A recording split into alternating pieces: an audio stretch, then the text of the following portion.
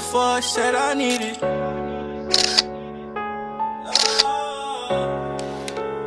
Who the fuck said I needed love? Who the fuck said I needed?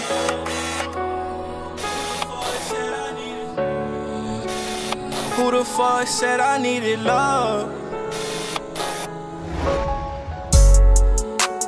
Who the fuck said I needed love? Pistol on me.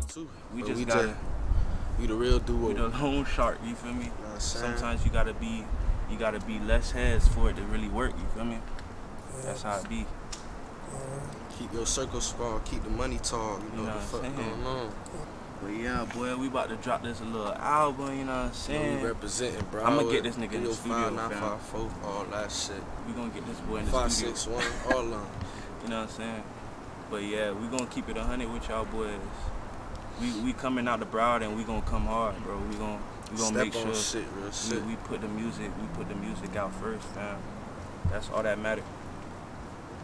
Yeah, boy, I'm not even gonna lie to you, boy. Both my parents is Haitian. Them boys born in. You gonna hop in the whip? That bit raining. That bit born and raised in Haiti. You know what I'm saying? That's what I'm saying. From Port-au-Prince. Shit's hard there. Niggas dying in Haiti every day, bro. I got family members I never seen before, fam.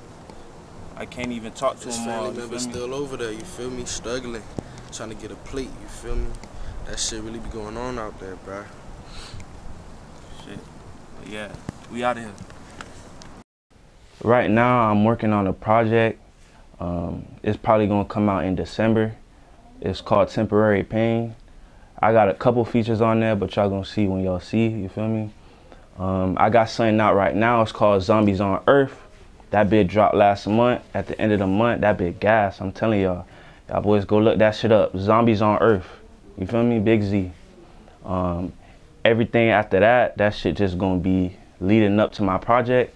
But I got some shit dropping this Friday. That shit called I'm Different. And I'm gonna drop a video a video for that shit, a visual. That shit different, fam. Y'all boys tap in. Yeah, I mean, people I would like to collaborate with in Broward probably would be I mean the biggest collab would be Kodak, um, 26 Coupe, Trapland Pat. I fuck with all them boys' music. If I could, I'll feature with everybody in Broward, fam. I'll just make a track and and do like knockout features and shit. Make a whole mixtape with straight features. That bitch would be gas. So I had a couple different labels reach out to me. Um, they sent me different little letters and telling me they see my music and stuff like that. But um, over here we stay independent. We trying to get 100% of our royalties, 100% of the pie, everything that we work hard for. We want to get all that bread. Um, every time we go to the table and we look at a contract, I make sure I read over that shit. My manager read over that shit. But if that shit don't add up, fam, you can't sign that shit. And I won't never sign until they until I'm gonna get what I'm worth. And I'm worth probably 10, 15 mil. You feel me? That's how that's how I feel, that's how I look at it. Alright. So the reason why I went to um, the school that I go to for recording arts is because I want to have a backup plan for what I'm doing. So if I don't make it in the industry with my music um, in the beginning, I'm going to be graduating from college for the same thing. So when I graduate college, I'm already going to be rubbing elbows with the big artists and the big, you know, tours and everything that has to do with music. I'm going to be in that industry. All I'm going to do is just rub elbows with the right people and push that music out. And then one thing lead to another. I'll, I'm pretty sure I'll be out by then, pushing out platinum. So in two years from now, I would picture myself doing like all these major shows, especially next year since I'm getting myself together. I'm talking about Rolling Loud, Coachella, Lollapalooza, most of the um, big shows that come to Florida, and I I I want to see myself on tour.